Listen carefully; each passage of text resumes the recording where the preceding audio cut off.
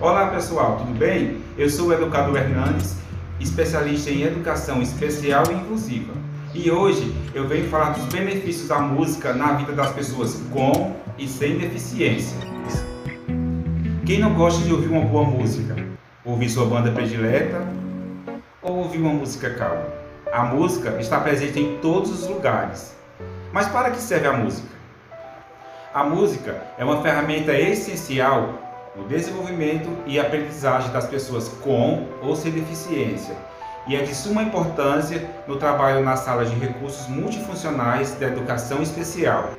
Quando as abordagens são direcionadas respeitando a individualidade e o tempo de aprendizagem das pessoas, ela pode se apropriar e cada vez mais usufruir de todos os benefícios que a música pode dar. Por exemplo, a música auxilia na coordenação motora, como nesse exemplo que o aluno irá seguir a música obedecendo o pulso.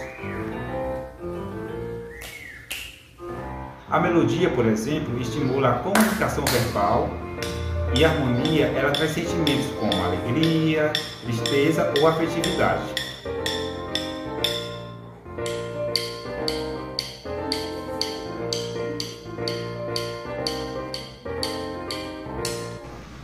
Durante as atividades de musicalização, podemos trabalhar a consciência corporal, que é o reconhecimento do seu corpo no espaço e como ele interage no ambiente.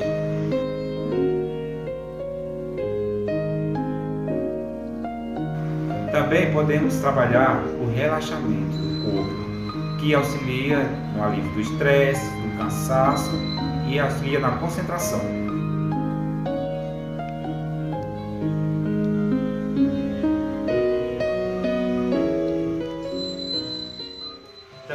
Importante, dentro das atividades de musicalização, trabalharmos a percepção auditiva, que é o reconhecimento dos timbres dos instrumentos. Por exemplo, o sax tem um som característico, o clarinete tem um som característico, o piano tem outro som. Então é importante trabalhar a diferenciação desses sons. Dentro da música também podemos trabalhar vários sentimentos, como por exemplo, alegria, ou então algo mais triste, ou suspense. Então, dentro dessa atividade, podemos estar resgatando essas questões sonoras que pode estar trabalhando com os alunos essa desenvoltura de se expressar. Depois de termos trabalhado toda essa sequência de habilidades como ritmo, consciência corporal, uso, nós chegamos em um objetivo muito importante que é o raciocínio lógico.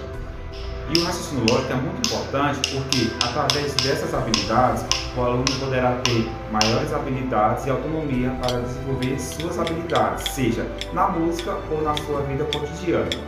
Então, pessoal, só lembrando, é muito importante pensarmos que quando você trabalha música, principalmente com o público da educação especial, é importante, antes de tudo, respeitar o tempo de aprendizagem dessas pessoas, porque só assim ela poderá se desenvolver de uma forma mais autônoma. Pessoal, só lembrando, é importante também adaptar, se necessário, o material que você irá utilizar na sua prática.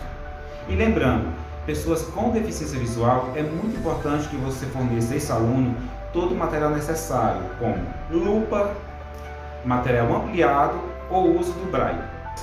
Então é isso, pessoal. Espero que tenham gostado. Acompanhe nossas redes sociais. Abraço e até a próxima.